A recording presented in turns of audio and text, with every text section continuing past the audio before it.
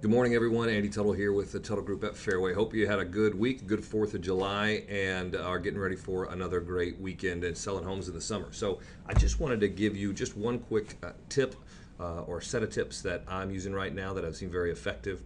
Uh, and it's just to weekly take 15 minutes, just 15 minutes a week to focus on a few areas of your wheel of life, just a few categories, and a priority for each category. So I'm just going to show you what I do, and hopefully it's helpful for you. I've been finding it's very helpful for the realtors and other business partners I've talked and shared this with.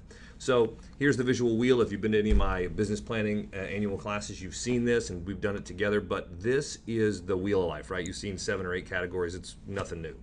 Uh, what I recommend and what I'm doing right now is working on three of the categories. So I work on focus on a priority for work, a priority for self, and a priority for relationships. Now, there's three types of relationships: love life, uh, if you're married or have a, um, a significant other, a family, and then friends. And so, right now, for me in work, I am focusing on my team and how to make sure I love on them correctly and appreciate them on a daily and weekly basis for through phone calls, voicemails, notes, gifts, just acknowledgement and praise, all of those things. For self, every morning I do my uh, lifesavers from the book The Miracle Morning, and let me just kind of show you that.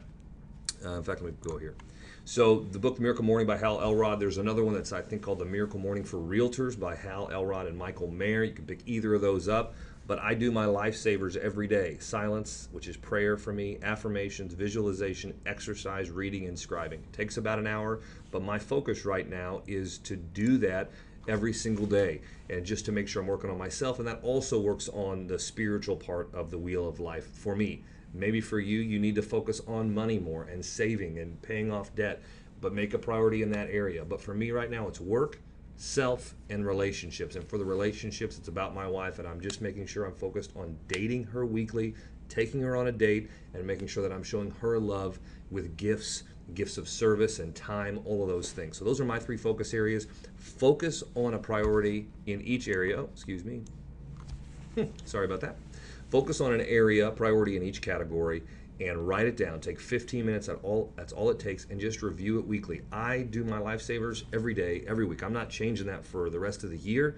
My relationship with uh, my wife, I want to focus on until it becomes automatic, at least for the next 90 days. And same with the work. I want to work on it until I don't have to think about it anymore, and then I'll change some of those categories in review. Just a simple tip. I hope it helps you know that we're here for you. We're only just a phone call away for your pre approvals to work with your buyers, to help you with offers, to help you with marketing, business training, sales, whatever it is that you need. We're there for you. We want to be your business partner with a focus on lending. Have a wonderful weekend. Call us if you need us, and talk to you soon.